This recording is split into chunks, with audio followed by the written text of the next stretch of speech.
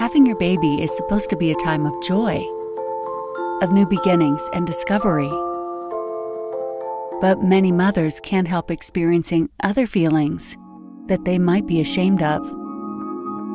Feeling depressed after having your baby does not make you a bad mother, and you can talk about it.